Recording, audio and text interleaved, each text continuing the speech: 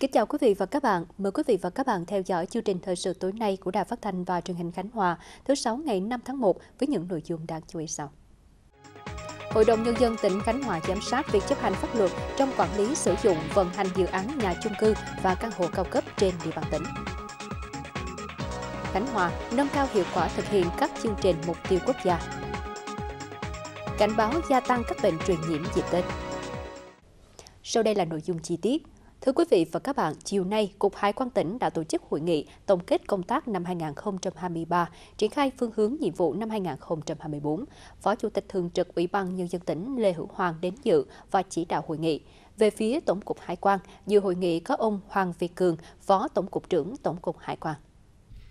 Năm 2023, Cục Hải quan tỉnh Khánh Hòa đã chủ động triển khai nhiều giải pháp trọng tâm, thực hiện tốt công tác quản lý hải quan, tạo thuận lợi cho doanh nghiệp, đồng thời tập trung tăng cường công tác cải cách hành chính, hiện đại hóa hải quan, ứng dụng công nghệ thông tin vào các khâu nghiệp vụ, hiện đại hóa quản lý hải quan. Qua đó hoàn thành đạt và vượt nhiều chỉ tiêu quan trọng, tổng thu ngân sách nhà nước đạt hơn 2.600 tỷ đồng, vượt gần 23% chỉ tiêu Bộ Tài chính giao. Về hoạt động xuất nhập khẩu, trong năm qua đã có 182 doanh nghiệp trong tỉnh tham gia làm thủ tục hải quan,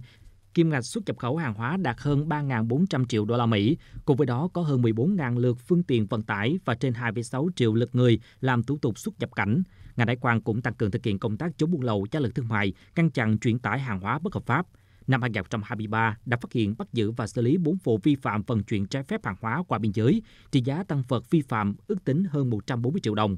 Phát biểu tại hội nghị, ông Lê Hữu Hoàng ghi nhận và biểu dương những kết quả mà Cục Hải quan tỉnh đạt được, đồng thời đề nghị thời gian tới, đơn vị cần tiếp tục đẩy mạnh các giải pháp nhằm tăng cường cải cách thủ tục hành chính, đơn giản hóa thủ tục hải quan, hướng đến hải quan phi giấy tờ. Bên cạnh đó, tiếp tục phối hợp tốt với các sở ban ngành của tỉnh, tạo thuận lợi cho hoạt động xuất nhập khẩu, hoạt động của các nhà đầu tư, nâng cao kim ngạch hàng hóa xuất nhập khẩu, v.v. Sáng nay, ông Trần Hòa Nam, Phó Chủ tịch Ủy ban Nhân dân tỉnh đã đến dự hội nghị tổng kết công tác năm 2023 và triển khai nhiệm vụ năm 2024 do Sở Nông nghiệp và Phát triển Nông thôn tỉnh tổ chức. Năm 2023, Sở Nông nghiệp và Phát triển Nông thôn tỉnh đã chủ động phối hợp cùng các sở ban ngành, các địa phương kịp thời tham mưu tỉnh ủy, ủy ban nhân dân tỉnh, chỉ đạo triển khai nhiều nội dung quan trọng, góp phần hoàn thành các chỉ tiêu tăng trưởng chung của toàn tỉnh. Nổi bật là tỷ trọng ngành nông nghiệp chiếm 11% trong cơ cấu các ngành kinh tế của tỉnh, đạt tốc độ tăng trưởng 4,3% so với năm 2022, trong đó sản xuất nông nghiệp tăng trưởng 3,6%, thủy sản tăng gần 5%. Ngành chăn nuôi tiếp tục phát triển ổn định. Đến hết năm 2023, các chỉ tiêu chính của ngành như tỷ lệ dân số nông thôn được sử dụng nước hợp vệ sinh đạt 99,7%, tỷ lệ che phủ rừng đạt 45,45%, có 65 trên 92 xã đạt chuẩn nông thôn mới, chiếm tỷ lệ trên 70%. Tổng kim ngạch xuất khẩu thủy sản của tỉnh ước đạt 729 triệu đô la Mỹ. Năm 2024, toàn ngành phấn đấu đạt tốc độ tăng trưởng bình quân từ 2,5% trở lên, Tỷ lệ che phủ rừng đạt 45,49%, có thêm 3 xã đạt chuẩn nông thôn mới, 10 xã nông thôn mới nâng cao và một xã nông thôn mới kiểu mẫu. Tại hội nghị, ông Trần Hòa Nam đã đánh giá cao những thành quả đã đạt được, đề nghị năm 2024, ngành tập trung thực hiện các chương trình nhiệm vụ trọng tâm như gỡ cảnh báo thẻ vàng của EC, hoàn thiện đề án thí điểm nuôi biển công nghệ cao, tập trung xây dựng nền nông nghiệp phát triển toàn diện theo hướng hiện đại, bền vững, sản xuất hàng hóa lớn, nâng cao giá trị gia tăng – Dịp này, Sở Nông nghiệp và Phát triển Nông thôn tỉnh đã trao danh hiệu lao động tiên tiến cho 27 tập thể và 624 cá nhân, tặng giấy khen cho 36 tập thể và 79 cá nhân hoàn thành xuất sắc nhiệm vụ năm 2023. Còn trong chiều nay, ông Trần Hòa Nam, Phó Chủ tịch Ủy ban Nhân dân tỉnh chủ trì cuộc họp, nghe báo cáo tình hình triển khai thực hiện dự án tuyến đường về biển từ xã Vạn Lương, huyện Vạn Ninh đi thị xã Ninh Hòa. Dự án tuyến đường ven biển từ xã Văn Lương, huyện Văn Ninh đi thị xã Ninh Hòa được Hội đồng Nhân dân tỉnh phê duyệt chủ trương đầu tư tại nghị quyết số 94 ngày 7 tháng 12 2023. Ủy ban Nhân dân tỉnh đã giao Ban Quản lý Khu Kinh tế Vân Phong làm chủ đầu tư dự án thành phần 1, dự án xây dựng tuyến đường ven biển từ xã Vạn Lương, huyện Vạn Ninh đi thị xã Ninh Hòa. Ủy ban nhân dân huyện Văn Ninh làm chủ đầu tư dự án thành phần 2, dự án bồi thường hỗ trợ tái định cư, giải phóng mặt bằng đoạn qua địa bàn huyện Văn Ninh phục vụ dự án xây dựng tuyến đường ven biển từ xã Văn Lương, huyện Văn Ninh đi thị xã Ninh Hòa. Ủy ban nhân dân thị xã Ninh Hòa làm chủ đầu tư dự án thành phần 3, dự án bồi thường hỗ trợ tái định cư, giải phóng mặt bằng đoạn qua địa bàn thị xã Ninh Hòa phục vụ dự án xây dựng tuyến đường ven biển từ xã Văn Lương, huyện Vạn Ninh đi thị xã Ninh Hòa. Tổng mức đầu tư dự án hơn 2.031 tỷ đồng từ ngân sách trung ương, 600 tỷ đồng và ngân sách địa phương. Thời gian thực hiện từ năm 2024 đến 2027, triển khai dự án thành phần 1, Ban quản lý khu kinh tế Vân Phong đã xây dựng kế hoạch cụ thể triển khai trong năm 2024, phấn đấu hoàn thành các thủ tục đầu tư để công trình được khởi công trong năm 2024.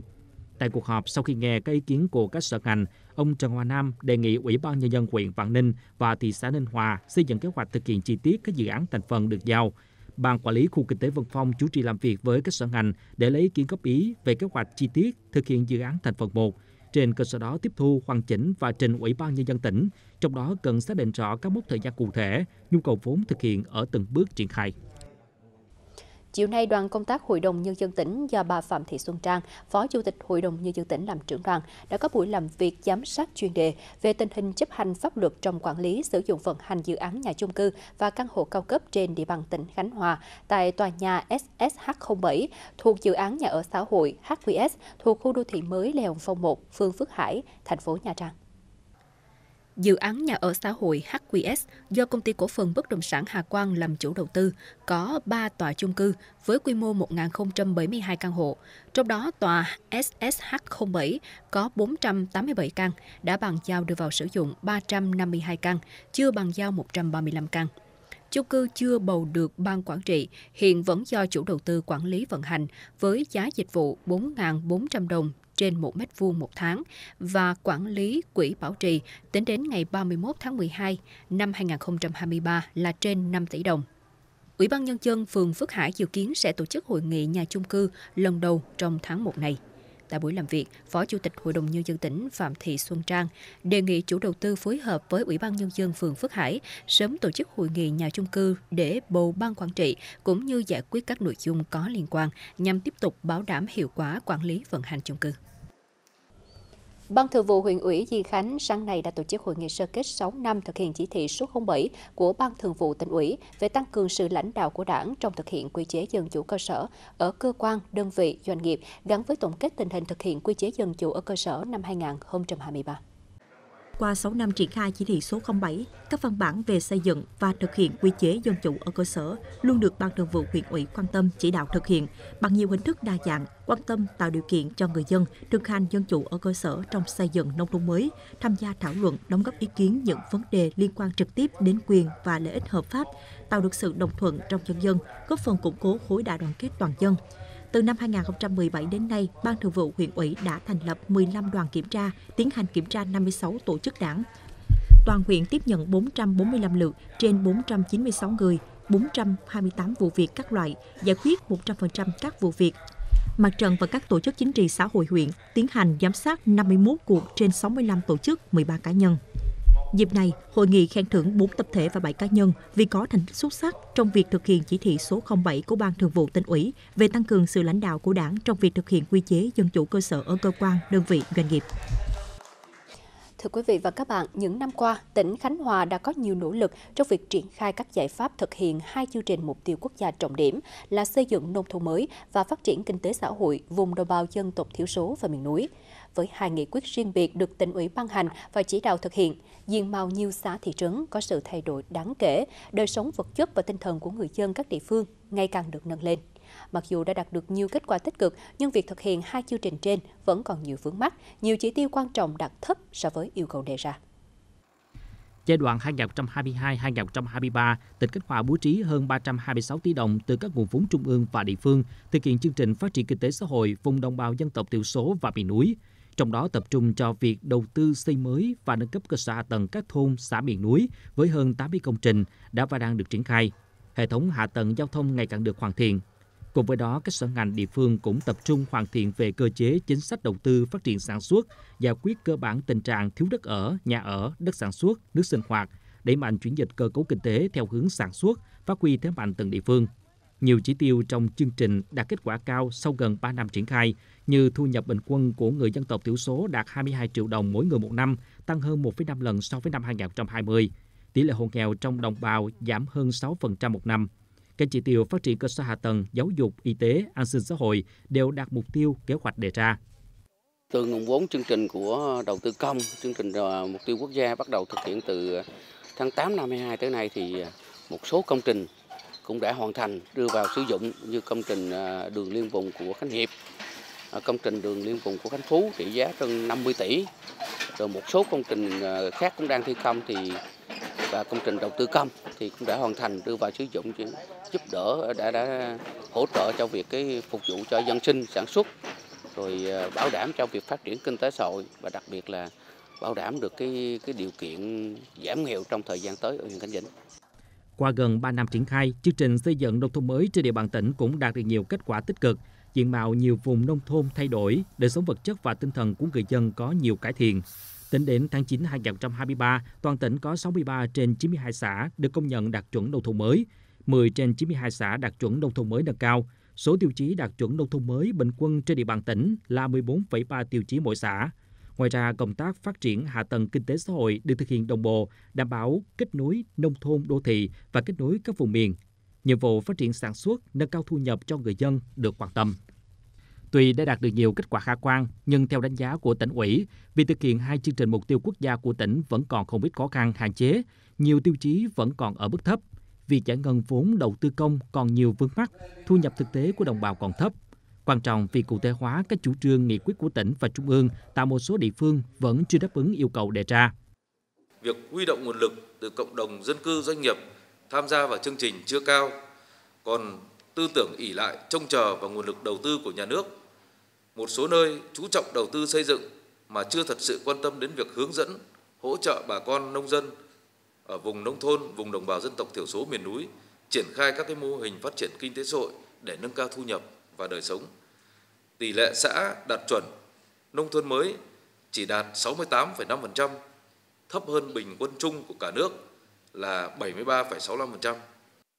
Vì triển khai hiệu quả hai chương trình mục tiêu quốc gia về xây dựng nông thôn mới và phát triển kinh tế xã hội vùng đồng bào dân tộc thiểu số và miền núi cũng là cơ sở để Khánh Hòa thực hiện và đạt được các tiêu chí trong chương trình giảm nghèo bền vững mà Trung ương đã giao. Thời gian tới, vai trò của cấp ủy chính quyền cơ sở tiếp tục đóng vai trò quan trọng đưa các chính sách chủ trương của Đảng, nhà nước đến gần hơn với người dân. Một cái việc quan trọng nhất là đề nghị là chúng ta cấp ủy chính quyền địa phương phải quan tâm lãnh đạo chỉ đạo. Coi đây là nhiệm vụ chính trị quan trọng. Mình phải lăn xả vào, mình thấy cái gì mà nó đang còn thiếu, nó đang còn khó thì mình phải đối diện để tháo gỡ. Phải ra soát lại toàn bộ các cái kế hoạch triển khai nghị quyết của địa phương, đơn vị cơ quan đơn vị địa phương mình. Và các đơn vị chủ trì tham mưu với ủy ban dân tỉnh thực hiện là sở nông nghiệp trong chương trình nông thôn mới. Ban dân tộc công chí phải chủ động hơn nữa trong cái việc điều phối đôn đốc nhắc nhở tham mưu.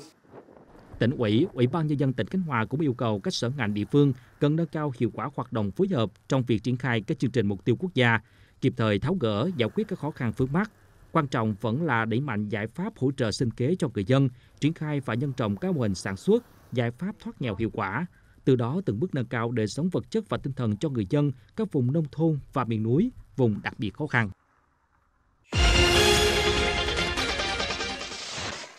Sáng nay tại Đà Nẵng, quân khu 5 tổ chức hội nghị tổng kết ngành tham mưu năm 2023 và triển khai phương hướng nhiệm vụ năm 2024. Thiếu tướng Lê Ngọc Hải, Phó Tư lệnh kiêm tham mưu trưởng quân khu chủ trì hội nghị. Tại điểm cầu Bộ Chỉ huy quân sự tỉnh, hơn 30 đại biểu tham dự hội nghị. Năm 2023, ngành tham mưu đã triển khai thực hiện toàn diện các mặt công tác, nhiều nhiệm vụ hoàn thành tốt và xuất sắc. Nổi bật là đã tham mưu cho Thường vụ Đảng ủy, Bộ Tư lệnh Quân khu phối hợp với các tỉnh, thành ủy trên địa bàn, quán triệt, triển khai thực hiện chặt chẽ, toàn diện, đồng bộ các văn bản lãnh đạo chỉ đạo của Đảng, Nhà nước, Quân ủy Trung ương, Bộ Quốc phòng, Bộ Tư lệnh Quân khu về nhiệm vụ quân sự, quốc phòng – tham mưu chỉ đạo các cơ quan đơn vị quán triệt thực hiện nghiêm các chỉ thị, kết luận của Bộ Chính trị, nghị định của Chính phủ, thông tư, quyết định, hướng dẫn của Bộ Quốc phòng về xây dựng khu vực phòng thủ và thi hành một số điều của Luật Quốc phòng, v.v. Hội nghị cũng đã phân tích làm rõ những ưu khuyết điểm và đề ra phương hướng nhiệm vụ năm 2024 phối hợp nắm chắc tình hình địa bàn, vùng biển, vùng trời và không gian mạng, bảo vệ an toàn tuyệt đối các ngày lễ Tết, sự kiện chính trị quan trọng của đất nước, nắm chắc tình hình địa bàn, phối hợp chặt chẽ với các lực lượng, giữ vững ổn định chính trị và trật tự an toàn xã hội, không để bị động, bất ngờ trong mọi tình huống. Chiều nay, Hội Liên hiệp Phụ nữ Việt Nam tổ chức lễ phát động chủ đề năm 2024, tăng cường ứng dụng công nghệ thông tin trong hoạt động hội và cuộc thi ứng dụng công nghệ thông tin trong tổ chức sinh hoạt hội, cuộc thi sáng tác ca khúc ca ngợi người phụ nữ, người mẹ Việt Nam. tại điểm cầu Khánh Hòa, Hội Liên hiệp Phụ nữ tỉnh cùng đại diện lãnh đạo Hội Liên hiệp Phụ nữ các huyện, thị xã, thành phố và đơn vị trực thuộc các sở ngành trong tỉnh tham dự lễ phát động. Cuộc thi ứng dụng công nghệ thông tin trong tổ chức sinh hoạt hội nhằm nâng cao nhận thức và kỹ năng của các cán bộ hội các cấp về ứng dụng công nghệ thông tin trong tổ chức sinh hoạt hội viên tại chi tổ hội. Nội dung dự thi gồm sản phẩm, giải pháp ứng dụng công nghệ thông tin thúc đẩy nâng cao chất lượng sinh hoạt hội viên, tiêu chí đánh giá các sản phẩm dự thi dựa vào các yếu tố như tính mới, độc đáo, tính thực tiễn, tính hiệu quả, tính lan tỏa, tính hấp dẫn. Cuộc thi được tổ chức từ ngày 5 tháng 1 đến ngày 18 tháng 5 2024 trong đó, từ ngày 5 tháng 1 đến ngày 15 tháng 4, Hội Liên hiệp Phụ nữ tỉnh thành đơn vị tổ chức thu thập bài dự thi, chấm chọn và gửi đăng ký dự thi cấp trung ương. Từ ngày 16 tháng 4 đến ngày 18 tháng 5, Hội Liên hiệp Phụ nữ Việt Nam tổ chức chấm và trao giải cuộc thi. Đối tượng tham gia là cán bộ hội, hội viên, bao gồm cả hội viên danh dự, có thể đăng ký dự thi theo hình thức tập thể hoặc cá nhân. Thông qua cuộc thi, tìm được những giải pháp hay sáng tạo, dễ áp dụng để phổ biến nhân rộng nhằm cải tiến và nâng cao chất lượng sinh hoạt hội viên, cũng tại lễ phát động, Hội Liên hiệp Phụ nữ Việt Nam đã phát động cuộc thi sáng tác ca khúc ca ngợi người phụ nữ, người mẹ Việt Nam. Sáng nay, khối thi đua các đảng ủy khối và các cơ quan trực thuộc tỉnh ủy đã tổ chức tổng kết công tác thi đua năm 2023 và triển khai nhiệm vụ năm 2024. Khối thi đua gồm 5 đơn vị là đảng ủy khối các cơ quan tỉnh, đảng ủy khối doanh nghiệp, trường chính trị tỉnh, báo Khánh Hòa, đài phát thanh và truyền hình Khánh Hòa. Năm 2023, các đơn vị trong khối đã bám sát chỉ đạo của tỉnh ủy, ủy ban nhân dân tỉnh để cụ thể hóa các nhiệm vụ, mục tiêu kế hoạch, để mạnh việc học tập và làm theo tư tưởng đạo đức phong cách Hồ Chí Minh trong cán bộ công chức viên chức người lao động, thực hiện hiệu quả các phong trào thi đua yêu nước gắn với nhiệm vụ của từng cơ quan đơn vị. Năm 2024, các đơn vị trong khối tiếp tục bám sát sự chỉ đạo của tỉnh ủy, ủy ban nhân dân tỉnh, tình hình thực tiễn tại cơ quan đơn vị để cụ thể hóa các nhiệm vụ, mục tiêu, kế hoạch của cơ quan đơn vị, đẩy mạnh phong trào thi đua gắn với thực hiện nhiệm vụ chính trị, phát triển kinh tế xã hội năm 2024. Hội nghị đã bình bầu đề nghị Ủy ban Nhân dân tỉnh tặng cơ thi đua dẫn đầu khối cho Đài Phát thanh và Truyền hình Khánh Hòa, tặng bằng khen cho báo Khánh Hòa và đảng ủy khối các cơ quan tỉnh. Báo Khánh Hòa làm đơn vị trưởng khối năm 2024. Thưa quý vị và các bạn, Bộ Y tế vừa phát đi công văn về việc tăng cường công tác phòng chống dịch bệnh mùa đông xuân năm 2023-2024. Theo đó, dịp Tết 2024 và mùa lễ hội đầu năm, nhu cầu giao thương du lịch tăng cao, cùng diễn biến thời tiết thay đổi bất thường là điều kiện thuận lợi cho các tác nhân gây bệnh lây lan, làm gia tăng số ca mắc các bệnh truyền nhiễm, nhất là với trẻ em có sức đề kháng yếu và người có bệnh lý nền. Chỉ trong một tháng, nhân bé Phạm Minh Quân, 18 tháng tuổi ở xã Vĩnh Thành, thành phố Nha Trang đã phải nhập viện hai lần. Lần sau chuyển biến nặng và điều trị dài ngày hơn lần trước – Hiện tại bé bị viêm phế quản và đang điều trị nội trú tại bệnh viện nhiệt đới hơn một tuần nay. Dạ, lên đây khám thì xét nghiệm máu thì nói cháu bị viêm phế quản với lại lập cầu cao nên cho cháu nhập viện điều trị ở đây ạ. Ghi nhận tại các bệnh viện trên địa bàn thành phố Nha Trang, nhiễm khuẩn hô hấp là bệnh thường gặp nhất ở trẻ em hiện nay do các cháu nhỏ dễ bị ảnh hưởng bởi những thay đổi thời tiết. Ngoài các bệnh về hô hấp do virus gây ra, bệnh truyền nhiễm tại Cánh Hòa còn tập trung ở các bệnh như tay chân miệng, sốt xuất huyết, theo thống kê của Trung tâm Kiểm soát Bệnh tật tỉnh năm 2023, toàn tỉnh có gần 5.000 ca mắc tay chân miệng, cao gấp 4,4 lần so với năm 2022. Số ca mắc sốt xuất huyết là hơn 3.500 ca. Nhờ sự vào cuộc quyết liệt của các cấp, các ngành, nên so với năm trước, bệnh sốt xuất huyết giảm cả về số ca mắc và số ổ dịch. Tuy nhiên, diễn biến của bệnh vẫn không thể chủ quan. Bộ Y tế khuyến cáo hiện nay giai đoạn mùa đông xuân, thời tiết hanh khô là nguyên nhân các dịch bệnh truyền nhiễm xuất hiện và lây lan. Các bệnh lưu hành như sốt xuất huyết, tay chân miệng, COVID-19 vân vân và một số bệnh có vaccine dự phòng ghi nhận số ca mắc tăng ở nhiều nơi trên toàn quốc. Khánh Hòa là điểm du lịch được nhiều người lựa chọn trong dịp Tết sắp tới nên đòi hỏi công tác phòng chống dịch phải tiếp tục được quan tâm, giám sát chặt chẽ, nhất là trong dịp Tết Nguyên đán và mùa lễ hội năm 2024. Trong cái mùa cuối năm thì khi ờ, chuyển qua thời tiết mùa đông xuân thì những cái bệnh ờ, ờ, do thay đổi cái độ ẩm môi trường nhiệt độ cho nên là những cái bệnh dịch mùa đông xuân cũng sẽ gia tăng. Hiện tại thì cũng nằm trong cái, cái, cái, cái kiểm soát của bệnh viện, của sở y tế cũng nhất các đơn vị chức năng. Tuy nhiên dịch bệnh thì không có thể liền trước được. Khi nếu có những yếu tố thuận lợi thì mình có thể là có những kế hoạch dự phòng để mình, mình chuẩn bị cơ sở vật chất cũng như là cái nhân lực để mình đáp ứng với cái diễn tiến của dịch. Và hiện nay thì à, chúng ta nên hết phòng ngừa các cái dịch bệnh kể cả những cái không những là bệnh đường hô hấp mà có cả những cái bệnh mới như gần đây như bệnh đầu mùa khỉ. Hiện nay thì chúng tôi cũng đang rất quan tâm và luôn luôn có cái giám sát trong hệ thống y tế để phát hiện ca bệnh. Nếu có trường hợp thì chúng ta sẽ có cái biện pháp, có phương án để chúng ta thực hiện các cái quy trình để giảm lây lan ra cộng đồng. Để ngăn ngừa nguy cơ có thể bùng phát dịch bệnh, ngành y tế tỉnh đang triển khai tích cực những biện pháp phòng chống các bệnh truyền nhiễm, trong đó đẩy mạnh công tác truyền thông, nâng cao nhận thức của người dân, phát hiện xử lý kịp thời các ổ dịch sốt xuất huyết, lưu ý theo dõi sự gia tăng của các trường hợp mắc bệnh lây qua đường hô hấp, các trường hợp viêm phổi nặng do virus. Cùng với đó, chuẩn bị sẵn sàng các phương án đảm bảo công tác y tế với mọi tình huống có thể xảy ra của dịch bệnh. Ngành y tế cũng khuyến cáo tình hình thời tiết mưa nắng thất thường như hiện nay sẽ là điều kiện thuận lợi cho virus gây bệnh sinh sôi, phát triển. Vì vậy, nếu người dân chủ quan, không chủ động phối hợp với ngành y tế trong công tác phòng chống dịch bệnh, thì tình trạng dịch chồng dịch rất dễ xảy ra trong dịp Tết sắp tới. Hưởng ứng cuộc vận động mỗi tổ chức cá nhân gắn với một địa chỉ nhân đạo do Trung ương Hội chữ thập đỏ Việt Nam phát động và Ban chỉ đạo cuộc vận động tỉnh Khánh Hòa triển khai thực hiện. Chiều nay, công ty cổ phần nước giải khát Yến Sào Khánh Hòa tổ chức trao tặng 3 nhà đại đoàn kết cho các hộ gia đình có hoàn cảnh khó khăn trên địa bàn huyện Khánh Vĩnh.